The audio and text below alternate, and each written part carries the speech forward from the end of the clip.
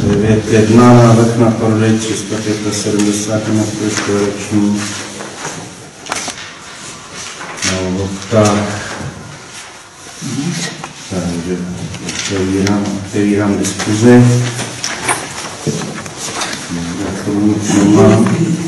Já bych si dovolil uvést, jedná se o prodej dvou pozemků nebo dvou část dvou pozemků, 375 metrů, křižovatce na Hodkách Miloviska. E, záměr projedna, prodeje projednalo zastupitelstvo už v červnu. E, v červnu, e, respektive neodsouhlasilo prodej, prodej jinému, jinému než dříve schválenému, to bylo někdy v polovině minulého roku. Eh, Jedná se o stejný pozemek na stejném místě a eh, záměr pro tohoto zájemce, paní to nemůžu říkat kterou, protože to nahrával, musel by to vymazat, tak pro budoucí obyvatele je, je, eh, byl vyvěšen, vyvěšen 9.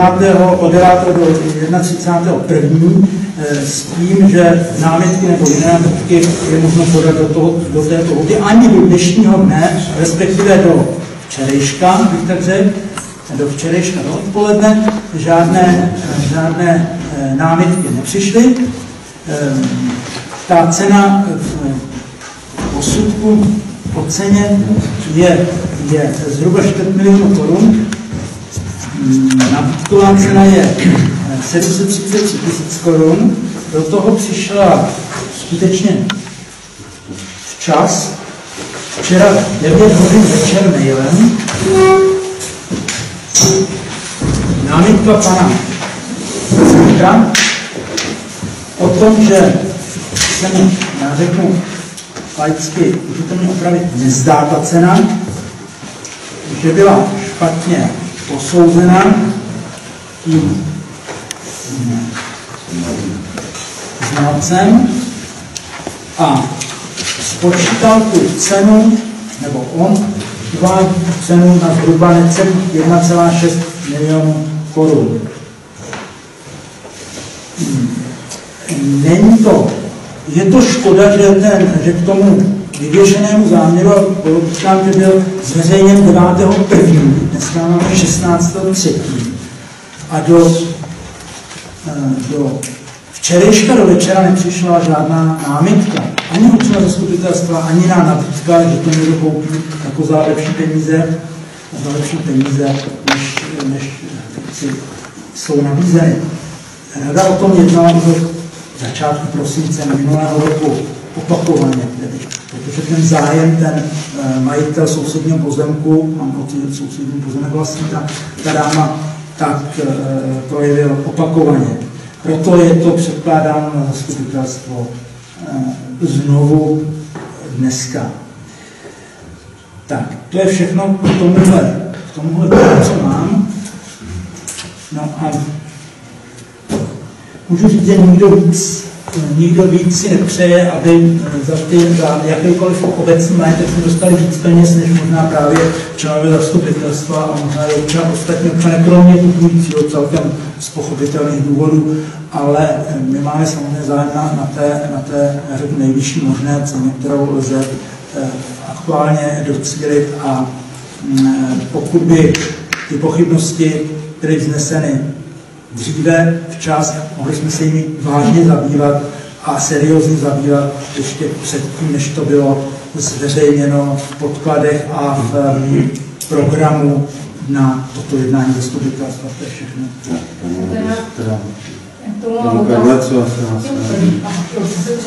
Tak já bych vás poprosila o vysvětlení. Na úřadě jsou dva odhady na ten samý pozemek, nebo na ty samé pozemky. Ten poslední s cenou 650 korun za metr čtvereční, nebo něco málo přes 600.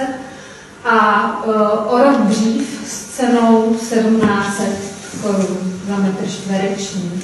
Uh, proč jste vzali úvahu ten poslední posudek a nějaký, ty, ty posudky jsou velmi rozdílné. A vy tady předkládáte zastupitelům tu cenu 600 70 korun za metr. Já bych si dovolil to, já vysvětlit to, že, že jestliže eh, prodáváme nebo se obchoduje s nějakým pozemkem, tak magistrát vyžaduje eh, znalecký posudek, neříkám aktuálně, ale nesmí být starší než, já vám teď domů říct, jestli je to 6 měsíců nebo 3 měsíce. Čili pokud ten eh, posudek z loňského roku, ten předchozí, z minulého roku, tak už dneska by, jak si by, by nebyl přijat. Mezitím, pokud jsem se dozvěděl, a to nevím, jestli nejsem znalec, byla změněna oceňovací vyhláška. Nevím, nevím, mě samotného překvapilo, že ta, že ta cena je nižší. Jako, podívejte se, já neumím.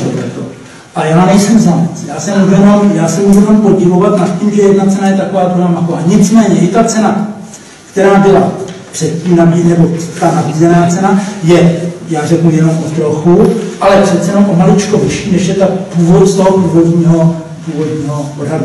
Když jsme obdrželi tenhle ten eh, posudek, nebo ten znalecký závěr toho znaleckého posudku, posudek, tak eh, pokud vím, tak bylo jednáno s tím zájemcem, že, to, že ač je tento posudek nižší, výrazně nižší, tak my to stejně ne, neustoupíme od té původní ceny a budeme mít alespoň tu cenu, která, která takhle, takhle byla už v loňském roce eh, deklarována a oni už za jednou za ten tyhle peníze měli zájem koupit.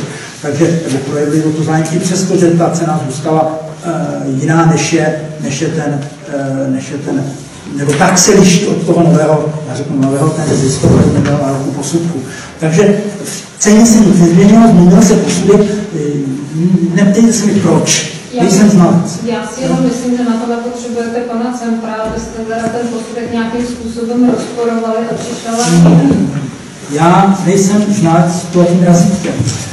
Jako v žádném případě. Teď eh, my jsme deklarovali, a to je, to je jenom, abychom nevedli to, teda...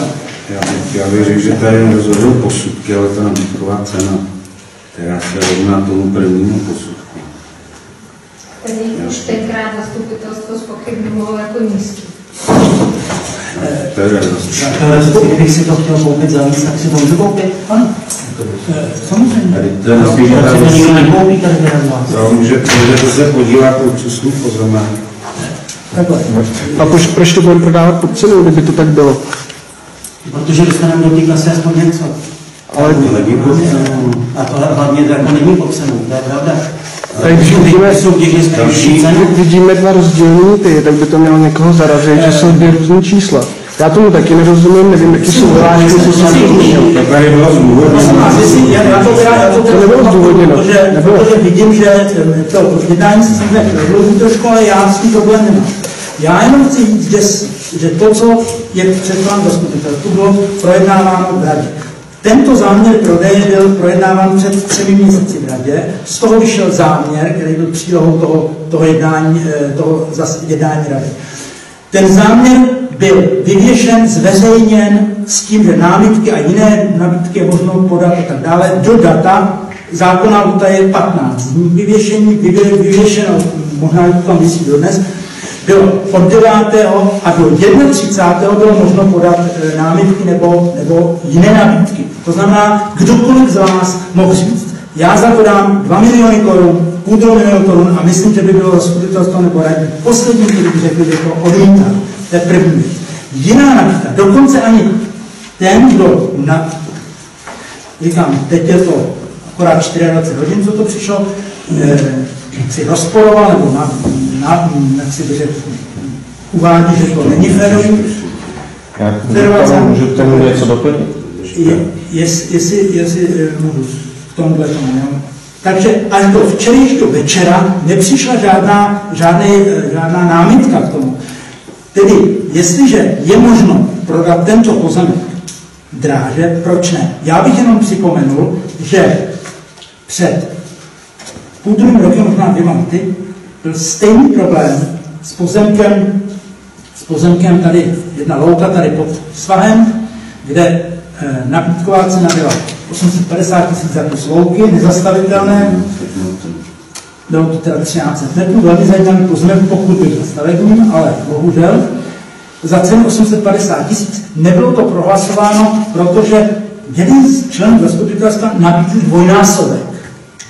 Je to už delší dobu a dodnes na ten dvojnásobný nabídku čekáme.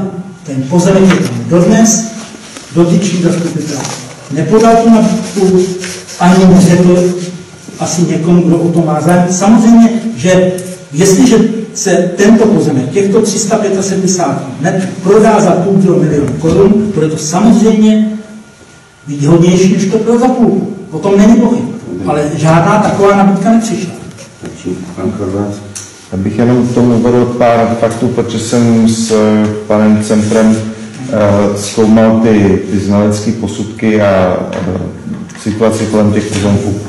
Tak jenom to, k čemu jsme se dobrali. Ta oceňovací hláška se skutečně změnila v listopadu loňského roku. Starší odhady nelze použít prostě z toho důvodu, že dneska se musí dělat uh, všechny odhady podle platní vyhlášky. Ten stávající odhad na tu nízkou cenu z nějakého důvodu ocenil ty části pozemků, které se mají prodat jako komunikace, který se pochopitelně oceňuje. Prosím? Ten důvod je jasný. Uh, Informace o pozemku způsob využití ostatních komunikací. No, ty, ty pozemky se rozdělují, když se podíváte na geometrické plány, my neprodáváme ty pozemky celý, ale, nebo obec, neprodává ty pozemky celý, ale pouze jejich části, ty pozemky se dělí Část zůstane jako komunikace, tam má být to, to obratiště nebo cesta a druhá část má být obytná plocha určená k zástavbě. Z nějakého důvodu nepochopitelného ty části, které se mají prodat tomu zájemci a mají sloužit jako obytná plocha, jsou oceněny jako komunikace. Takže tady je podle našeho laického názoru zjevná chyba v tom, jak, eh, jak ten posudek eh, byl, nebo odhad byl učiněn. Takže to je asi na vysvětlenou, proč ta cena teďka vychází takové, takové nízká. Eh, potom teda bych rád tady věcnou faktickou jako věc uvedl na pravou míru.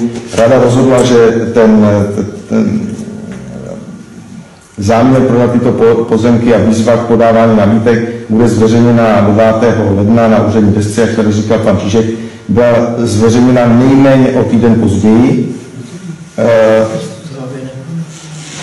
a e, byla stažena ještě před koncem té lhuty, do kdy se, se daly ty nabídky podávat. Takže pokud jako obec Eh, máme zájem na tom, aby se takovýhle pozemek eh, prodal za co nejvyšší cenu, tak si myslím, že by mělo být v zájmu obce to co nejvíce zveřejnit, možná dokonce nejenom na úřední desce, ale třeba vyvěsit i po obci nějaké inzeráty nebo to dát na webové stránky na první stranu a ne v tichosti to dát jenom na úřední desku a to ani ne na tu nezbytně nutnou dobu, kdy to má být vyvěšeno, ale ještě na dobu zkrácenou ze předu i ze zadu. Takže Tolik eh, možná k tomu, jak to bylo zveřejněno. A třetí, třetí poznámka, eh, to je k těm nabídkám. Eh, ty, ta celková plocha těch prodávaných pozemků, teď mi pane Čišku možná pomožte, to je 370 metrů? 370 metrů. Takže tady je zjevné, že eh, největší význam takovýhle pozemky mají pro majitele těch sousedních pozemků, který si to může zvětšit o těch 375 metrů. Že by přišel někdo od jinut a e, chtěl si koupit 375 metrů na křižovatce, je asi obtížně představitelné a to, to tady asi chápou všichni. Je zájem obce prodat za tu nejlepší cenu. A tady je otázka nějakého vyjednávání a pevného postoje vůči tomu zájemci. Já jsem taky proto, ať se to prodá tomu, kdo má ten sousední pozemek a má o to zájem, ale musí se to prodávat za nějakou rozumnou cenu. Kdyby ta paní přišla a řekla, že za to dá tisíc korun, tak to asi nebudeme chtít prodat.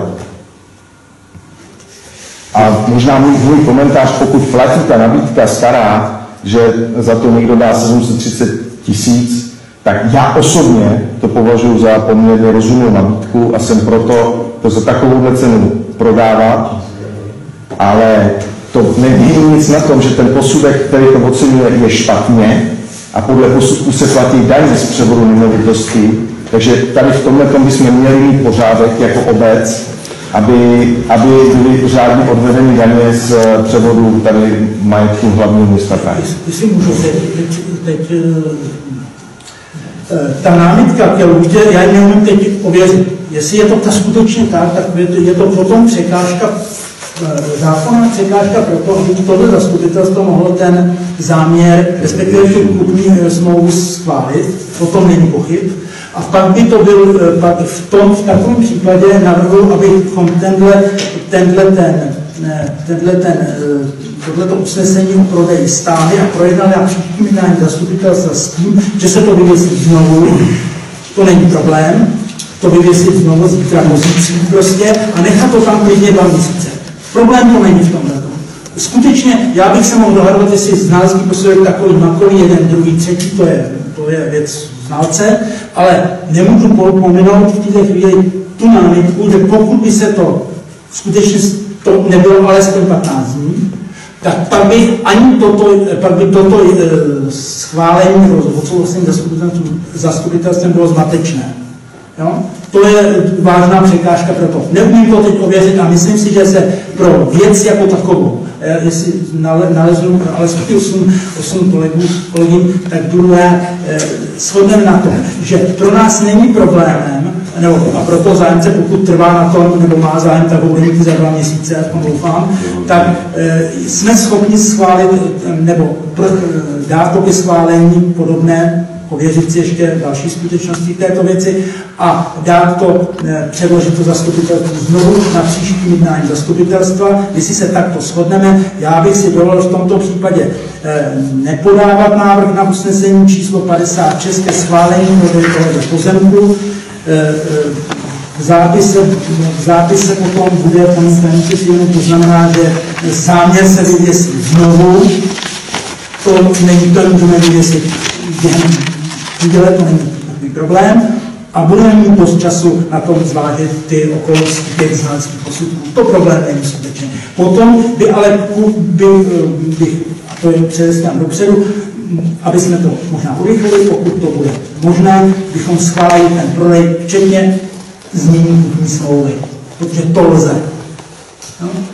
To není úplně nic proti ničemu, ale to schválení zastupitelstva skutečně musí být až poté, co to alespoň 15 dní vysí na uh, úřední desce. Jestliže máte pravdu a nemám důvod, já myslím, jak pak, není, jako pak se to stane do patření, nikoli záměr. Uh, no? Věřím tomu, já nevím, jaké jsou technické možnosti, abychom dneska zpětně dohledávali, kdy to tam bylo vyvěšeno. To lze, to lze. Tak, to není problém. Tak se schválně... Uh, ne, to, to, to, není problém. Nicméně, jestliže tuhle námitku nezvlastní si, není nic jednoduššího, než ten záměr znovu vzít a s novým datem nikoli s původním, a s novým datem ho umístit na webové stránky a na úřední disku. Jenom se ten starý založí prostě a vyvěsí se s novým datem. Tam to problém žádný nedělá. Já ještě k nějakou drobnost, kterou, kterou asi všichni víme, abych to zopakoval, vlastnické právo pozemku nebo veškerým pozemkům že v našem katastru eh, má hlavní město Praha. No, my máme svěřené zprávy, to znamená, že jakákoliv kupní smlouva prochází ještě schválením odboru majetku a neznamená, že my, když se tady na něčem dohodneme, odhlasujeme a zašleme to tam ke schválení, že nám to vrátí se souhlasným stanoviskem. Jo, takže to, to je takový poslední právo veta a e, je docela dobře možný, kdyby jsme to dneska odhlasovali tak, jak je to předloženo, tak to neprojde doloženo oběma, oběma znaleckými posudky. Asi by se na nás dívali trošku divně, ale možná by to nějakým způsobem vyřešili. Jo, já, já tu cenu 733 tisíc nepovažuji za cenu podle eh, odhadu ani jedno, ani druhého, ale za cenu nabídkovou. A další věc je, že eh, ten čas, kdy se to prodlouží, nám hraje do kary, protože ve chvíli, kdy budeme mít jasno v tom, že začne rekonstrukce e, ulice na Vodkách, tak 200 tisíc, který se tam museli investovat do přeložky vodovodního řadu, zůstávají nám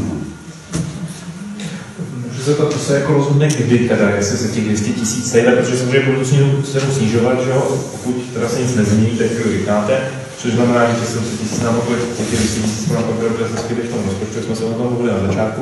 Kdy a kdo a jak rozhodne o tom, jestli se tam ta přeložka bude dělat? Ta, ta přeložka by měla, ta, ta přeložka, pokud by se to udělalo trvalo, tak samozřejmě to spoždění je, je, je. Nám v podstatě stačí ta informace, že na, na, na nebo jak se to dneska jmenuje, ten odbor, bylo i soutěžené, že začnou.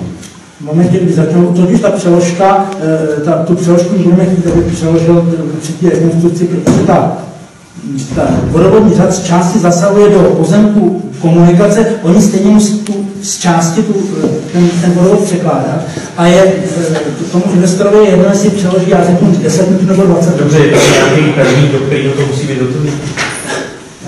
Já vám řeknu, ne, ne, ne, ne, já vám říkám, že protože to zadávací, to zadávací řízení vyhlásí, eh, vyhlásí magistrát někdy v tom dubnu, květnu, na tom doufejme, že to vyhlásí. Když to se tam nezačne stavět, tak se s tím nemusí dělat nic. No, já, Víte, víte co, jako mám uvedený na dopravu dost problémů, úplně vlastně jsem teď. Tak eh, mě zajímá, co se bude dít, když se nezačne stavět, jestli my budeme nějakým způsobem tlačení k tomu to překládat a platit i... ne, ne, ne, to ne, nejsme nuceni. My nejsme ničím nuceni tomuto přeložit, protože to Proč to vůbec je proč tam ta je? Protože to byl, to, protože to je obecní pozemek. Ne, První tam, no, protože ten, eh, ten, protože ta eh, roura toho vodovodu 200 mm nemůže ležet na soukromém pozemku. To je hlavní řad, který vede eh, budoucímu dojmu a nemůže ležet, eh, nemůže ležet na soukromém pozemku. Prostě nejde. Majitele toho je do toho, toho, Vodovod, no, to jsme my.